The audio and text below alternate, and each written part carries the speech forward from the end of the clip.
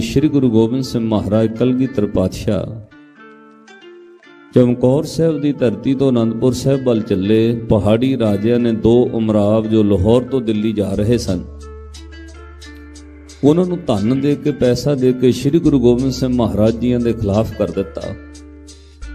ਜੇ ਤੁਸੀਂ ਜਾਂਦੇ ਆ ਜਾਂਦੇ ਗੁਰੂ ਗੋਬਿੰਦ ਸਿੰਘ ਮਹਾਰਾਜ ਨਾਲ ਜੰਗ ਕਰ ਲਓ, ਅਸੀਂ ਤੁਹਾਨੂੰ ਇੰਨੇ ਹਜ਼ਾਰ ਰਜਤ ਪਣ ਦਵਾਂਗੇ ਨਾਲੇ ਔਰੰਗਜ਼ੇਬ ਬਾਦਸ਼ਾਹ ਖੁਸ਼ ਹੋਏਗਾ ਕਿਉਂ?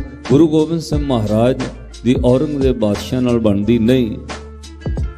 ਉਹ ਦੋਵੇਂ ਉਬਰਾਵ ਮੰਨ ਗਏ। ਉਨੀ ਫਲੋਰ ਤੋਂ ਲੁਧਕ ਦੇ ਰਸਤੇ ਭਾਵ ਲੁਧਿਆਣੇ ਦੇ ਰਸਤੇ ਸਤਲੁਜ ਪਾਰ ਕਰਕੇ ਜਾਣ ਦੀ ਬਜਾਏ ਔਰ ਆਰ ਅਲ ਦੇ ਰਸਤੇ, ਸਿੱਧਾ ਰੋਪੜ ਦੇ ਰਸਤੇ, ਉਹ ਦਿੱਲੀ ਦਾ ਰਸਤਾ ਨਾਪ ਲਿਆ। ਸ੍ਰੀ ਗੁਰੂ ਗੋਬਿੰਦ ਸਿੰਘ ਮਹਾਰਾਜ ਜੀਆਂ ਦੇ ਉੱਤੇ 10000 ਫੌਜ 5000 ਸੈਦਾ ਵੇਗਦੀ। 5000 ਫੌਜ ਅਲਫ ਖਾਨ ਦੀ। ਗੁਰੂ ਗੋਬਿੰਦ ਸਿੰਘ ਮਹਾਰਾਜ ਤੇ ਹੱਲਾ ਬੋਲ ਦਿੱਤਾ। ਕੁਝ ਮੀਲਾਂ ਦੀ ਵਿੱਥ ਉੱਤੇ ਸ੍ਰੀ ਗੁਰੂ ਗੋਬਿੰਦ ਸਿੰਘ ਮਹਾਰਾਜ ਅਨੰਦਪੁਰ ਸਾਹਿਬ ਵੱਲ ਜਾ ਰਹੇ ਸਨ। ਅਲਫ ਖਾਨ ਤੇ ਵੇਗ ਖਾਨ ਦੀ ਫੌਜ ਵਿੱਚੋਂ ਇੱਕ ਸਿਪਾਹੀ ਨਿਕਲਿਆ। ਉਹਨੇ ਘੋੜੇ ਨੂੰ ਫੌਜ ਤੋਂ ਅਲੱਗ ਕਰ ਲਿਆ। ਫੌਜਾਂ ਤੋਂ ਅਲੱਗ ਕਰਕੇ ਸ੍ਰੀ ਗੁਰੂ ਗੋਬਿੰਦ ਸਿੰਘ ਮਹਾਰਾਜ ਪਾਤਸ਼ਾਹ ਤੱਕ ਕਿਸੇ ਹੋਰ ਰਸਤੇ ਪਹੁੰਚਿਆ। ਆ ਕੇ ਉਹ ਖਬਰ ਉਮਰਾਵ ਦੇ ਪਹੁੰਚਣ ਦੀ ਦਿੰਦਾ ਹੈ। हे ਗੁਰੂ ਗੋਬਿੰਦ ਸਿੰਘ ਮਹਾਰਾਜ, ਤੁਹਾਡੇ ਉੱਤੇ ਹਮਲਾ ਹੋ ਗਿਆ ਫੌਜਾਂ ਆ ਰਹੀਆਂ ਨੇ। 10000 ਫੌਜ ਹੈ। ਗੁਰੂ ਗੋਬਿੰਦ ਸਿੰਘ ਮਹਾਰਾਜ, ਉਹ ਫੌਜ ਪਹਾੜੀਆਂ ਨੇ ਤੁਹਾਡੇ ਉੱਤੇ ਚੜਵਾਈ ਹੈ। ਸ੍ਰੀ ਗੁਰੂ ਗੋਬਿੰਦ ਸਿੰਘ ਮਹਾਰਾਜ ਨੂੰ ਉਹ ਆਇਆ ਹੋਇਆ ਸਿਪਾਹੀ ਹਕੀਕਤ ਦੱਸ ਰਿਹਾ ਸੀ। ਪਾਤਸ਼ਾਹ ਕੀ ਫੈਸਲਾ ਲੈਂਦੇ ਨੇ? ਅਨੰਦਪੁਰ ਸਾਹਿਬ ਵੱਲ ਜਾਣਗੇ ਜਾਂ ਫਿਰ ਜੰਗ ਦੀ ਤਿਆਰੀ ਕਰਨਗੇ? ਕਮਸਾਨ ਦੀ ਜੰਗ ਵਿੱਚ ਕੀ ਹੁੰਦਾ ਹੈ? ਪਿਆਰ ਭਰੇ ਪ੍ਰਸੰਗ ਨਾਲ ਜੁੜੋ। ਮਹਾਕਵੀ ਭਾਈ ਸੰਤੋਖ ਸਿੰਘ ਜੀ ਚੂੜਾਮਣੀ ਰਚਿਤਾ ਸ੍ਰੀ ਗੁਰਪ੍ਰਤਾਪ ਸੂਰਜ ਗ੍ਰੰਥ। ਰੁੱਤ ਪੰਜਵੀਂ ਤੇ ਅੰਸੂ 32 ਉੱਤੇ ਅੰਕਿਤ ਕਰਦੇ ਨੇ, ਉਹ ਸਿਪਾਹੀ ਉਮਰਾਬਾਂ ਦੀ ਫੌਜ ਚੋਂ ਨਿਕਲ ਗਿਆ। ਰਸਤਾ ਬਦਲ ਕੇ ਘੋੜਾ ਧਵਾਉਂਦਾ ਹੋਇਆ, ਭਾਵ ਬਹੁਤ ਤੇਜ਼ ਚਲਾਉਂਦਿਆਂ ਹੋਇਆ। ਉਹ ਪਾਤਸ਼ਾਹ ਤੱਕ ਪਹੁੰਚਿਆ। ਸ੍ਰੀ ਗੁਰੂ ਗੋਬਿੰਦ ਸਿੰਘ ਮਹਾਰਾਜ ਨੂੰ ਸਾਹੋ ਸਾਹੀ ਹੋਇਆ ਉਹ ਸਿਪਾਹੀ। ਆ ਕੇ ਸਚਾਈ ਦੱਸਦਾ ਮਹਾਰਾਜ ਕਿਵੇਂ ਨਿਸ਼ਚਿੰਤ ਹੋ ਕੇ ਤੁਸੀਂ ਜਾ ਰਹੇ ਹੋ? ਤੁਹਾਨੂੰ ਸ਼ਾਇਦ ਪਤਾ ਨਹੀਂ ਤੁਹਾਡੇ ਮਗਰ ਸ਼ਾਹੀ ਫੌਜਾਂ ਨੇ ਹੱਲਾ ਬੋਲ ਦਿੱਤਾ। ਤੁਮ ਪਰ ਦਸ ਹਜ਼ਾਰ ਅਸਵਾਰ ਦੋ ਅਮਰਾਵ ਆਏ ਰਿਸ ਧਾਰ। ਉਹ ਸਿਪਾਹੀ ਮਹਾਰਾਜ ਨੂੰ ਨਮਸਕਾਰ ਕਰਕੇ ਕਾਲੀ ਕਾਲੀ ਬੋਲ ਰਿਹਾ ਸਾਹੋ ਸਾਹੀ ਹੋਇਆ ਹੈ ਸੱਚੇ ਪਾਤਸ਼ਾਹ ਤੁਹਾਡੇ ਉੱਤੇ 10000 ਫੌਜ ਚੜ ਗਈ ਹੈ। ਇਹ ਫੌਜਾਂ ਪਹਾੜੀ ਰਾਜੇ ਭੀਮ ਚੰਦ ਕਹਿਲੋਰੀਏ। ਕਿਰਪਾਲ ਚੰਦ ਕਟੌਚੀਏ ਹੰਡੋਰੀਏ ਰਾਜਿਆਂ ਨੇ ਚੜਾਈਆਂ ਨੇ। ਮਹਾਰਾਜ ਉਹਨਾਂ ਨੂੰ ਕਈ ਹਜ਼ਾਰ ਰਜਤਪਣ ਦਾ ਲਾਲਚ ਦਿੱਤਾ ਉਹ ਫਿਲੌਰ ਤੋਂ ਲੰਘਦੇ ਰਸਤੇ ਭਾਵ ਸਤਲੁਜ ਦੇ ਨਾਲ ਨਾਲ ਸਿੱਧੇ ਇੱਧਰ ਆ ਗਏ ਨੇ। ਥੋੜੇ ਮੀਲ ਦੀ ਵਿੱਥ ਰਹਿ ਗਈ ਹੈ।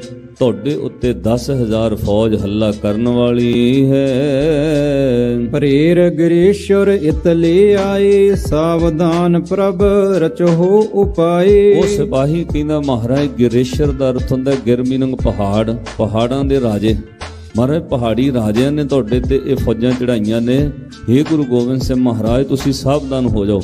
ਉਹ ਫੌਜ ਬਹੁਤ ਤੇਜ਼ ਤਰਾਰ ਹੈ। 10000 ਫੌਜ ਪੰਜ ਸੈਦਾ ਵੇਗ ਦੀ 5000 ਅਲਫ ਖਾਨ ਦੀ ਤੁਹਾਡੇ ਉੱਤੇ ਉਹਨਾਂ ਹੱਲਾ ਬੋਲ ਦਿੱਤਾ ਹੈ। ਬਸ ਤੁਹਾਡੇ ਤੱਕ ਪਹੁੰਚਣ ਵਾਲੇ ਨੇ। ਮੈਂ ਰਾਵਰ ਸਿੱਖ ਸੁਣ ਕੇ ਧਾਇਓ ਆਨ ਭੇਤ ਗਨ ਰਹਿ ਪੁੰਨ ਬਤਾਇਓ। ਹਜ਼ੂਰ ਪੁੱਛਦੇ ਭਾਈ ਤੂੰ ਕੌਣ ਹੈ? ਉਹਨੇ ਕਿਹਾ ਮਹਾਰਾਜ ਮੈਂ ਉਹਨਾਂ ਦੀ ਫੌਜ ਦਾ ਇੱਕ ਸਿਪਾਹੀ ਹਾਂ।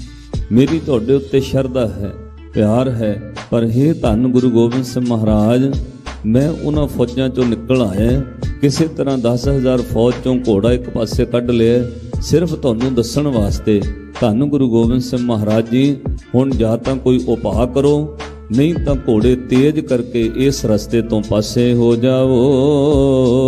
ਸੁਣ ਕਲਗੀ ਧਰ ਹੁਕਮ ਉਚਾਰਾ ਦੇਹੋ ਬਜਾਏ ਰਣਜੀਤ ਨਗਾਰਾ। ਧੰਨ ਸ਼੍ਰੀ ਗੁਰੂ ਗੋਬਿੰਦ ਸਿੰਘ ਮਹਾਰਾਜ ਜੀਆਂ ਨੂੰ ਸਿਪਾਹੀ ਕਹਿੰਦਾ ਮਹਾਰਾਜ ਤੁਹਾਡੇ ਕੋਲ ਸੈਂਕੜੇ ਕ ਸਿਪਾਹੀ ਨੇ ਉਹ 10000 ਫੌਜ ਹੈ। ਮਹਾਰਾਜ ਜਾਂ ਤਾਂ ਕੋਈ ਉਪਾਅ ਕਰ ਲਓ ਨਹੀਂ ਤਾਂ ਫਿਰ ਰਸਤਾ ਬਦਲ ਲਓ। ਆਨੰਦਪੁਰ ਸਾਹਿਬ ਤੱਕ ਉਹ ਤੁਹਾਨੂੰ ਪਹੁੰਚਣ ਨਹੀਂ ਦੇਣਗੇ। ਇਹ ਉਹਨਾਂ ਦੀ ਚਾਲ ਹੈ। ਪਹਾੜੀ ਰਾਜਿਆਂ ਕਹਿ ਕੇ ਤੋਰਿਆ ਅਨੰਦਪੁਰ ਸਾਹਿਬ ਦੇ ਕਿਲੇ ਤੋਂ ਬਾਹਰ ਹਨ ਗੁਰੂ ਗੋਬਿੰਦ ਸਿੰਘ ਮਹਾਰਾਜ। ਉਹਨਾਂ ਨੂੰ ਪਕੜਨਾ ਮਾਰਨਾ ਸੌਖਾ ਹੈ। ਮਹਾਰਾਜ, ਹੁਣ ਤੁਹਾਡੀ ਇੱਛਾ ਹੈ ਜਾਂ ਕੋਈ ਉਪਾਅ ਕਰੋ। ਨਹੀਂ ਤਾਂ ਰਸਤਾ ਬਦਲੋ। ਲਓ 10000 ਫੌਜ ਨੇ ਹੱਲਾ ਬੋਲ ਦਿੱਤਾ ਹੈ। ਹੈਨ ਪਰ ਜੀਨੇ ਉਤਾਲੇ, ਤੁਪਕ ਖੜਗ ਧਨ ਢਾਲ ਸੰਭਾਲੇ। ਧੰਨ ਗੁਰੂ ਗੋਬਿੰਦ ਸਿੰਘ ਮਹਾਰਾਜ ਜੀ ਮੁਸਕਰਾ ਪਏ ਸ੍ਰੀ ਗੁਰੂ ਗੋਬਿੰਦ ਸਿੰਘ ਮਹਾਰਾਜ, ਉਸੇ ਵਕਤ ਇੱਕ ਪਲ ਚੁੱਪ ਕਰਨ ਤੋਂ ਬਾਅਦ ਬੜੇ ਜੋਸ਼ ਵਿੱਚ ਆ ਕੇ ਬੋਲੇ, ਪਾਤਸ਼ਾਹ ਨੇ ਹੁਕਮ ਕੀਤਾ, ਭਾਈ ਨਗਾਰਾ ਵਜਾਓ, ਜੰਗ ਦਾ ਐਲਾਨ ਕਰ ਦਿਓ। ਅਨੰਦਪੁਰ ਸਾਹਿਬ, ਉਹ ਚਾਹੁੰਦੇ ਨੇ ਅਸੀਂ ਅਨੰਦਪੁਰ ਸਾਹਿਬ ਤੋਂ ਬਾਹਰ ਲੜੀਏ। ਉਹ ਚਾਹੁੰਦੇ ਨੇ ਗੁਰੂ ਗੋਬਿੰਦ ਸਿੰਘ ਮਹਾਰਾਜ ਕਿਲੇ ਤੋਂ ਬਾਹਰ ਹੋਣ। ਫਿਰ ਅਸੀਂ ਗੁਰੂ ਗੋਬਿੰਦ ਸਿੰਘ ਮਹਾਰਾਜ ਨੂੰ ਪਕੜ ਲਾਂਗੇ। ਕਲਗੀਧਰ ਪਾਤਸ਼ਾਹ ਕਹਿੰਦੇ ਅਸੀਂ ਆਨੰਦਪੁਰ ਸਾਹਿਬ ਨਹੀਂ ਜਾਵਾਂਗੇ। ਕਿਲੇ ਤੋਂ ਬਾਹਰ ਹੀ ਜਿੱਥੇ ਉਹਨਾਂ ਦੀ ਇੱਛਾ ਹੈ ਉੱਥੇ ਹੀ ਇਹਨਾਂ ਤੁਰਕਾਂ ਦਾ ਮੁਕਾਬਲਾ ਕਰਾਂਗੇ। ਸਾਵਧਾਨ ਹਵੈ ਰੋਕਿਓ ਆਗਾ। ਸਿੰਘਨ ਹਿਰਦੈ ਵੀਰ ਰਸ ਜਾਗਾ। ਬਾਦਸ਼ਾਹ ਨੇ ਉੱਚੀ ਆਵਾਜ਼ ਵਿੱਚ ਕਿਹਾ ਖਾਲਸਿਓ ਸਾਵਧਾਨ ਹੋ ਜਾਓ। ਦੁਸ਼ਮਣ ਦਾ ਰਸਤਾ ਕਿਉਂ ਰੋਕੋ। ਆਪਾਂ ਅੱਗੇ ਨਹੀਂ ਜਾਣਾ। ਇਹ ਨਾ ਕਹਿਣ ਕਿ ਗੁਰੂ ਗੋਬਿੰਦ ਸਿੰਘ ਮਹਾਰਾਜ ਦੀ ਫੌਜ ਸ਼ਾਹੀ ਫੌਜ ਦੇ ਆਉਣ ਉੱਤੇ ਅੱਗੇ ਭੱਜ ਗਈ ਹੈ ਜਿੱਥੇ ਖਬਰ ਮਿਲੀ ਹੈ ਇੱਥੋਂ ਹੀ ਮੋਰਚੇ ਲਾਓ ਸਾਵਧਾਨ ਹੋ ਕੇ ਫੌਜ ਦਾ ਅੱਗਾ ਰੋਕੋ। ਦਲ ਮੁਕਾਬਲੇ ਦੋਨੋਂ ਹੋਏ ਗੋਚਰ ਦ੍ਰਿਸ਼ਟ ਪਰਸ ਪਰ ਦੋਏ। ਬਾਦਸ਼ਾਹ ਨੇ ਉੱਚੀ ਆਵਾਜ਼ ਵਿੱਚ ਕਿਹਾ ਜੇ ਮੁਕਾਬਲਾ ਹੋਏਗਾ। ਵੇਖ ਲਾਂਗੇ ਧੋਖਾ ਕਰਨ ਵਾਲੇ ਜਿੱਤਦੇ ਨੇ ਕਿ ਸੱਚ ਦੀ ਜਿੱਤ ਹੁੰਦੀ ਹੈ। ਖਾਲਸਿਓ ਅੱਜ ਤੁਹਾਡੀ ਇਸ ਸ਼ਸਤਰ ਵਿੱਦਿਆ ਦੀ ਬਹੁਤ ਵੱਡੀ ਪਰਖ ਹੈ। ਅੱਜ ਤੁਹਾਡੇ ਕੋਲ ਕਿਲਾ ਨਹੀਂ। ਇਹ ਜੰਗ ਅੱਜ ਤੁਹਾਡੀ ਮੈਦਾਨੀ ਜੰਗ ਹੋਏਗੀ। ਧੰਨ ਸ਼੍ਰੀ ਗੁਰੂ ਗੋਬਿੰਦ ਸਿੰਘ ਮਹਾਰਾਜ ਜੀਆਂ ਨੇ ਹੁਕਮ ਦੇ ਕੇ ਰਣਜੀਤ ਨਗਾਰਾ ਵਜਵਾ ਦਿੱਤਾ। ਉਹਦਾ ਭਾਵ ਸੀ ਜੰਗ ਦੀ ਤਿਆਰੀ ਹੋਈ।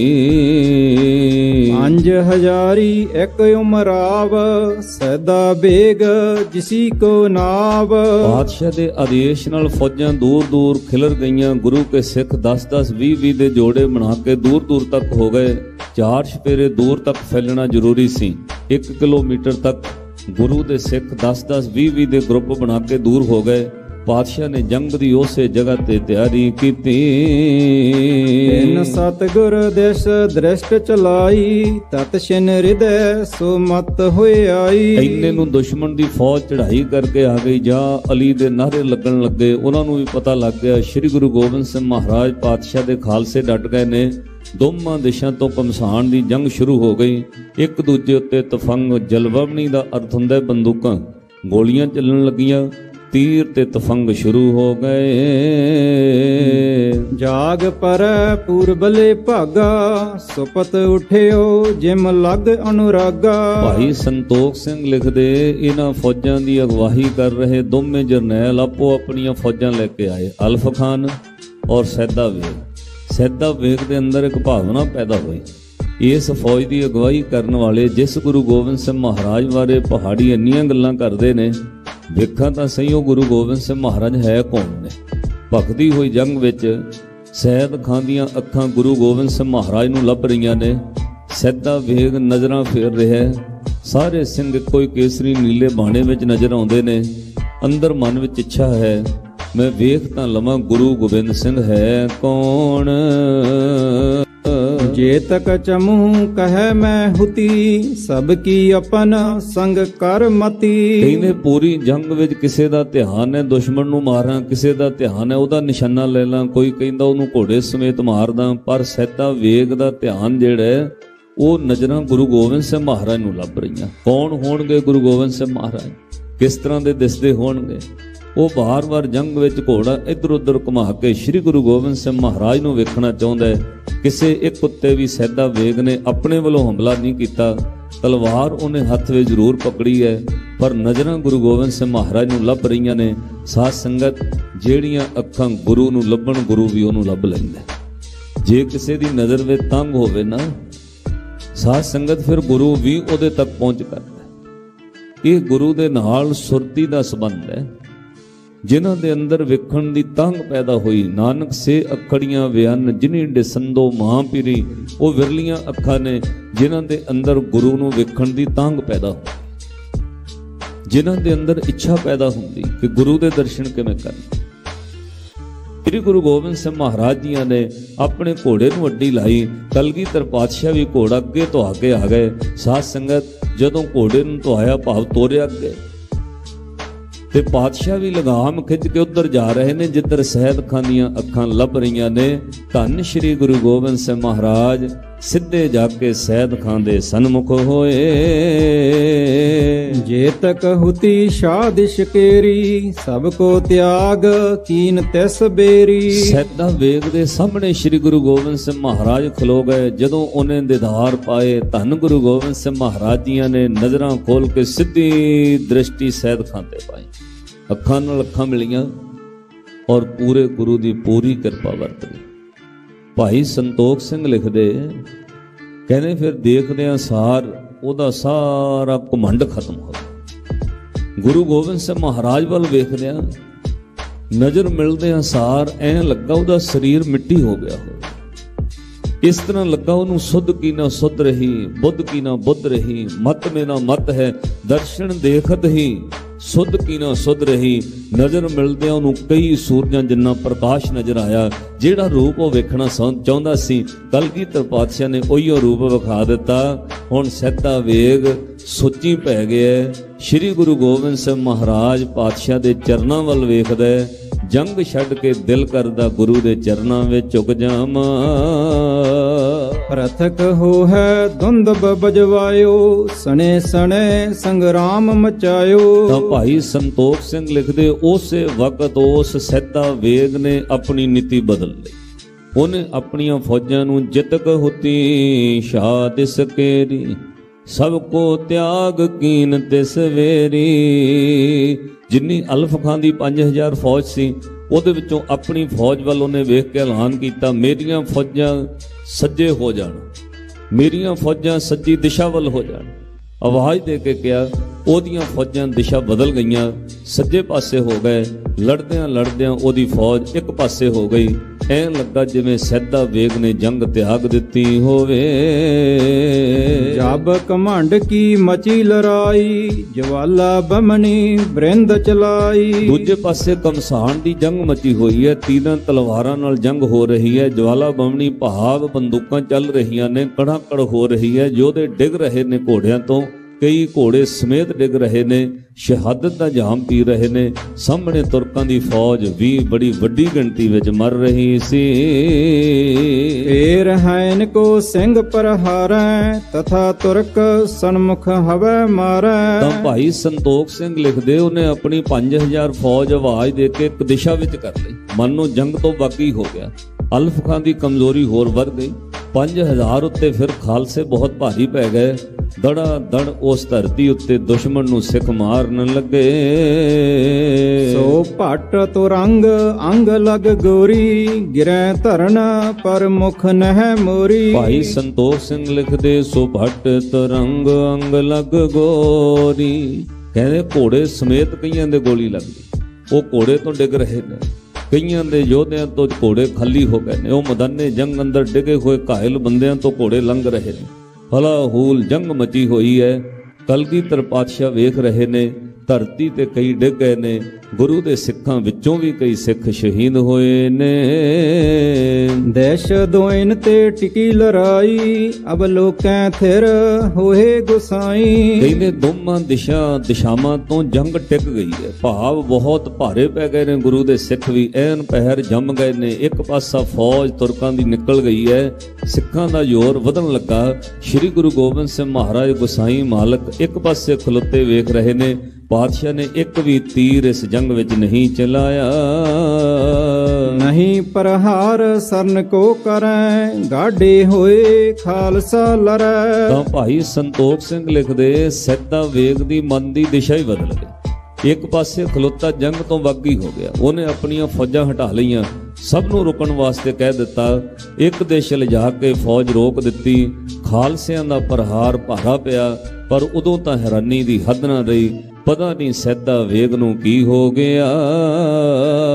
ਕਿਤ ਕਬੀਰ ਜਬ ਲਰਤ ਬਿਤਾਈ ਸੈਦਾ ਬੇਗ ਚਹਿ ਸ਼ਰਨਾਈ। ਕਹਿੰਦੇ ਸੈਦਾ ਵੇਗ ਗੁਰੂ ਦੀ ਸ਼ਰਨ ਵਿੱਚ ਆਉਣ ਦੀ ਇੱਛਾ ਪ੍ਰਗਟਾਉਣ ਲੱਗਾ ਫਿਰ ਉਹਨੇ ਕਿਹਾ ਜੰਗ ਮਚੀ ਹੋਈ ਹੈ ਇਦਾਂ ਗੁਰੂ ਗੋਬਿੰਦ ਸਿੰਘ ਮਹਾਰਾਜ ਦੀ ਸ਼ਰਨ ਵਿੱਚ ਕਿਵੇਂ ਜਾਵਾਂ? ਪਹਿਲਾਂ ਗੁਰੂ ਦੀ ਸੇਵਾ ਹੀ ਕਰ ਲਈਏ। ਇਹਨੇ ਇੱਕ ਦੇਸ਼ ਤੋਂ ਕੀਤੀ ਹੋਈ ਵੱਖ ਫੌਜ ਆਪਣੀ ਫੌਜ ਨੂੰ ਉਲਟਾ ਤੁਰਕਾਂ ਉੱਤੇ ਹੱਲਾ ਬੋਲਣ ਦਾ ਆਦੇਸ਼ ਦੇ ਦਿੱਤਾ। ਸਮੇਤ ਫੌਜਾਂ ਖੁਦ ਸੈਦਾ ਵੇਗ ਅਲਫ ਖਾਂ ਦੀ ਫੌਜ ਤੇ ਟੁੱਟ ਪਿਆ। ਅਜ ਤੁਰਕਨ ਕੇ ਦਲ ਕੋ ਸਾਥ ਮਿਲਿਓ ਖਾਲਸੇ ਸਨ ਕਹਿ ਗਾਥ। ਸੈਦਾ ਵੇਗ ਦੇ ਮਨ ਚ ਆਇਆ ਕਹਿੰਦਾ ਜੰਗ ਜੀਤ ਕੇ ਮਿਲ ਹੋ ਫੇਰ ਇਮ ਕੇ ਮਿਲ ਕਰ ਭਇਓ ਦਲੇਰ ਕਹਿੰਦਾ ਜੰਗ ਜਿੱਤ ਕੇ ਹੁਣ ਗੁਰੂ ਨੂੰ ਮਿਲਾਂਗਾ। ਮੈਂ ਗੁਰੂ ਦੀ ਦਿਸ਼ ਤੋਂ ਲੜਾਂਗਾ। ਗੁਰੂ ਦਿਸ਼ਾ ਵੱਲੋਂ ਇਹਨੇ ਆਪਣੀਆਂ ਫੌਜਾਂ ਲੈ ਕੇ ਉਲਟਾ ਤੁਰਕਾਂ ਉੱਤੇ ਹੱਲਾ ਬੋਲ ਦਿੱਤਾ। ਹੁਣ ਤੁਰਕਾਂ ਦੇ ਪੈਰ ਰੁਕੜ ਗਏ। ਉਹ ਫੌਜਾਂ ਪਿਛਲ ਫੁਰੀਆਂ ਹਟਣ ਲੱਗੀਆਂ। ਸਿੰਘਣ ਤੇ ਆਗੇ ਹੋਏ ਲਰਿਓ ਗਣ ਤੁਰਕਨ ਕੋ ਮਾਰਨ ਕਰਿਓ। ਤੁਰਕਾਂ ਦੇ ਸਮੂਹ ਨੂੰ ਮਾਰ ਭਜਾਇਆ। ਅੱਧ ਨਾਲੋਂ ਵੱਧ ਫੌਜ ਅਲਫ ਖਾਨ ਦੀ ਮਾਰ ਦਿੱਤੀ ਗਈ। ਸਾਧ ਸੰਗਤ ਜਦੋਂ ਨੇ ਵੇਖਿਆ ਲਾਸ਼ਾਂ ਦੇ ਢੇਰ ਲੱਗ ਰਹੇ ਨੇ। ਉਹਦੀ ਹੈਰਾਨੀ ਦੀ ਹੱਦ ਨਾ ਰਹੀ। ਉਹ ਹੈਰਾਨ ਹੋ ਗਿਆ ਜਿਹੜਾ ਲਾਹੌਰ ਤੋਂ ਮੇਰੇ ਨਾਲ ਚੱਲ ਰਿਹਾ ਹੈ ਇੱਥੇ ਆ ਕੇ ਮੇਰੇ ਵਿਪਰੀਤ ਕਿਵੇਂ ਲੜਨ ਲੱਗ ਪਿਆ? ਇਹ ਸਭ ਕੁਝ ਸੋਚ ਕੇ ਅਲਫ ਖਾਨ ਫੌਜਾਂ ਲੈ ਕੇ ਪਿੱਛੇ ਹਟਿਆ। ਅਲਫ ਖਾਨ ਪਿਖ ਕਰ ਵਿਪਰੀਤ ਸਾਥੀ ਫਟਿਓ ਕਹਾਂ ਅਬ ਜੀਤ? ਉਹਦੇ ਮਨ ਚ ਆਇਆ ਵੀ ਮੇਰਾ ਸਾਥੀ ਫਟ ਗਿਆ ਮੇਰੇ ਨਾਲੋਂ ਅੱਧੀ ਫੌਜ ਟੁੱਟ ਗਈ ਉਲਟਾ ਦੂਜੇ ਪਾਸਿਓਂ ਮੇਰੇ ਤੇ ਲੜਨ ਲੱਗ ਪਿਆ। ਹੁਣ ਅਲਫ ਖਾਨ ਦੇ ਮਨ ਚ ਆਇਆ ਜਿੱਤ ਨਹੀਂ ਸਕਦਾ। ਜੰਗ ਜਿੱਤਣੀ ਅਸੰਭਵ ਹੈ। ਇਹ ਹੋ ਹੀ ਨਹੀਂ ਸਕਦਾ ਮੈਂ ਜਿੱਤ ਜਾਂ ਅੱਧ ਨਾਲੋਂ ਵੱਧ ਉਹਦੀ ਫੌਜ ਮਾਰੀ ਗਈ। ਡਰਦਾ ਹੋਇਆ ਅਲਫ ਖਾਨ ਆਪਣੀਆਂ ਫੌਜਾਂ ਲੈ ਕੇ ਪਿੱਛੇ ਹਟ ਗਿਆ। ਮਨ ਦੇ ਅੰਦਰ ਡਰ ਆਇਆ। ਪਤਾ ਨਹੀਂ ਗੁਰੂ ਗੋਬਿੰਦ ਸਿੰਘ ਮਹਾਰਾਜ ਨੇ ਸੈਦਾ ਵੇਗ ਨੂੰ ਕੀ ਕਰ ਦਿੱਤਾ ਉਲਟੀਆਂ ਫੌਜਾਂ ਮੇਰੇ ਖਿਲਾਫ ਹੋ ਗਈਆਂ। ਇਹ ਨਾ ਹੋਵੇ ਅਲਫ ਖਾਨ ਨੇ ਸੋਚਿਆ ਕਿਤੇ ਮੈਨੂੰ ਮਾਰ ਮੁਕਾਣ। ਡਰਦੇ ਨੇ ਫੌਜ ਪਿੱਛੇ ਹਟਾਉਣ ਲਈ ਹੁਕਮ ਦੇ ਦਿੱਤਾ। ਸਣੇ ਸਣੇ ਨਿਜ ਸੈਨ ਹਟਾਈ ਤਉ ਖਾਲਸਾ ਮਾਰਤ ਜਾਈ। ਕਹਿੰਦੇ ਉਹਨੇ ਫੌਜ ਪਿੱਛੇ ਹਟਾਈ ਪਰ ਖਾਲਸਾ ਇੰਨੇ ਜੋਸ਼ ਵਿੱਚ ਵੱਧਦਾ ਜਾ ਰਿਹਾ ਸੀ ਵੱਧਦਾ ਜਾ ਰਿਹਾ ਸੀ। ਭੱਜਦੇ ਭੱਜਦੇ ਅਲਫ ਖਾਨ ਦੀਆਂ ਫੌਜਾਂ ਨੂੰ ਘਾਇਲ ਕਰ ਦਿੱਤਾ। ਅੱਧ ਨਾਲੋਂ ਵੱਧ ਮਾਰ ਦਿੱਤੀਆਂ। ਲਾਸ਼ਾਂ ਦੇ ਢੇਰ ਲੱਗ ਗਏ।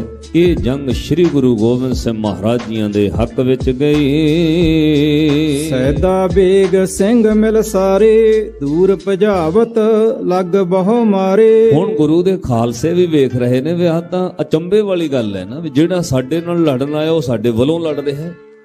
ਜਿਹੜਾ ਸਾਡੇ ਉੱਤੇ ਹਮਲਾ ਬੋਲ ਰਿਹਾ ਹੈ, ਉਲਟਾ ਸਾਡੇ ਵੱਲੋਂ ਲੜਨ ਲੱਗ ਪਿਆ ਹੈ। ਤੁਰਕਾਂ ਦੀ ਫੌਜ ਨੂੰ ਖਾਲਸਾ ਔਰ ਸੈਦਾ ਵੇਗ ਦੀਆਂ ਫੌਜਾਂ ਨੇ ਅਲਫ ਖਾਨ ਨੂੰ ਬੜੀ ਦੂਰ ਤੱਕ ਭਜਾਇਆ, ਸੈਂਕੜੇ ਹਜ਼ਾਰਾਂ ਮਾਰ ਦਿੱਤੇ, ਜਾਨ ਬਚਾ ਕੇ ਅਲਫ ਖਾਨ ਜੰਗ ਛੱਡ ਕੇ ਭੱਜ ਗਿਆ। ਸ੍ਰੀ ਗੁਰੂ ਗੋਬਿੰਦ ਸਿੰਘ ਮਹਾਰਾਜ ਦੀ ਇਸ ਜੰਗ ਵਿੱਚ ਜਿੱਤ ਦਰਜ ਹੋਈ।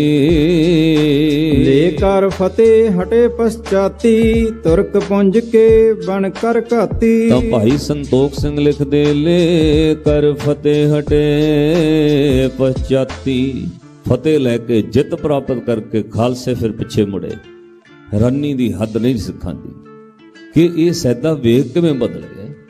ਇਹਦੀਆਂ ਫੌਜਾਂ ਕਿਵੇਂ ਸਾਡੇ ਹੱਕ 'ਚ ਹੋ ਗਈਆਂ। ਤੁਹਾਨੂੰ ਗੁਰੂ ਗੋਬਿੰਦ ਸਿੰਘ ਮਹਾਰਾਜ ਸਭ ਕੁਝ ਵੇਖ ਰਹੇ ਨੇ। ਸੈਦਾ ਵੇਗ ਖਾਲਸਿਆਂ ਨਾਲ ਇਹ ਜਿੱਤ ਕਰਕੇ ਵਾਪਸ ਸ੍ਰੀ ਗੁਰੂ ਗੋਬਿੰਦ ਸਿੰਘ ਮਹਾਰਾਜ ਵੱਲ ਆ ਰਿਹਾ ਹੈ।